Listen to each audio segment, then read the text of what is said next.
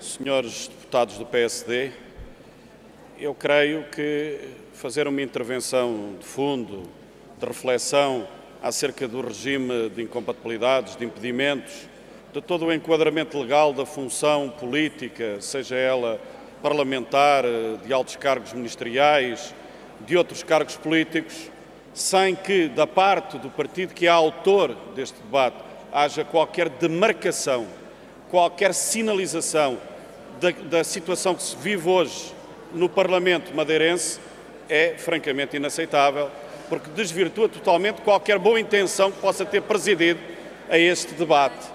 E, com o devido respeito, direi, nesse, nessa circunstância, perante esse tão pesado silêncio, eh, parece, soa sempre a uma homenagem do vício à virtude, e enquanto o Partido Social Democrata não se demarcar definitivamente do escandaloso regime de incompatibilidades que vigora na Madeira, eu creio que terá a sua autoridade política, ética, francamente diminuída para propor o que quer que seja.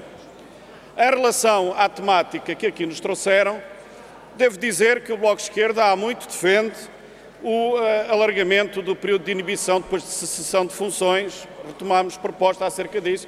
Estamos abertos para o alargamento a outros cargos políticos e não exclusivamente a deputados ou, ou, ou membros de secretários de Estado ou, ou ministros, uh, que acompanhamos e propusemos, e já foi aqui reprovado, que não deve haver, independentemente da profissão, não fazemos uma, uma, uma perseguição à profissão forense, ela só e exclusivamente, mas a todo o conjunto de profissões que possam prestar consultadoria, qualquer outro tipo de serviço, em relação a entidades públicas e não apenas ao Governo, em todas as entidades públicas. Já o propusemos, acolhemos largamente.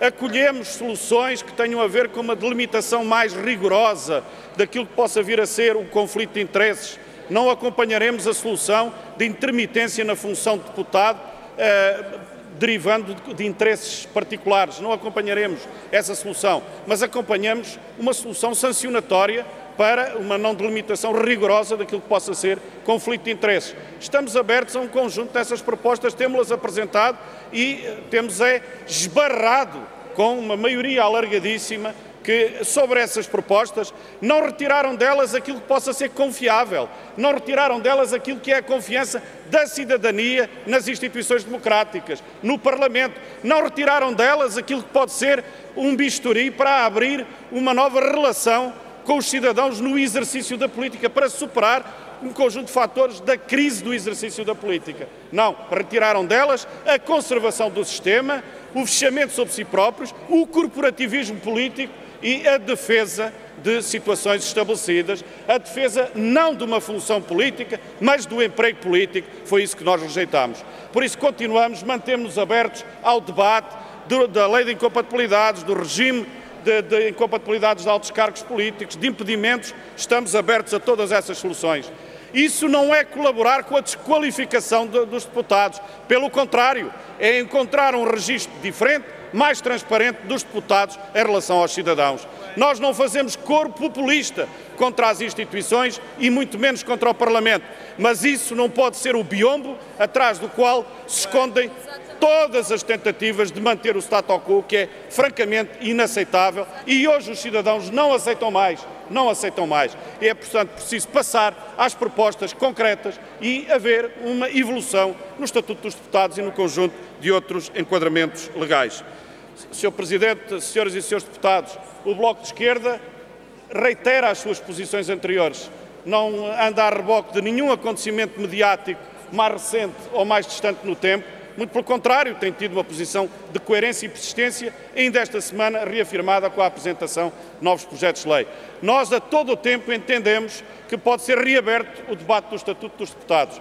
E como o Partido Socialista até encontrou uma, uma, uma, uma forma legal estranhíssima, fizemos na anterior sessão legislativa uma revisão do Estatuto dos Deputados, em que uma parte entrou em vigor, a outra ainda não entrou. Portanto, está, é, é um Estatuto dos Deputados que está em trânsito em, em parte é um fenómeno e em parte é um epifenómeno, portanto talvez seja a, a ocasião, já que ainda uma boa parte das disposições não entraram em vigor, de retocar, mas modificando a substância, a feição daquilo que nós entendemos que é um necessário e absoluto reforço da transparência. Se o Partido Socialista não corresponder a esse objetivo, se não corresponder a essa expectativa, não é a reforma do Parlamento completa que desejávamos para uma maior vivacidade da democracia e, sobretudo, para que as mãos estejam sempre visíveis para os cidadãos, que o escrutínio possa ser feito a partir da transparência total de quem exerce funções políticas.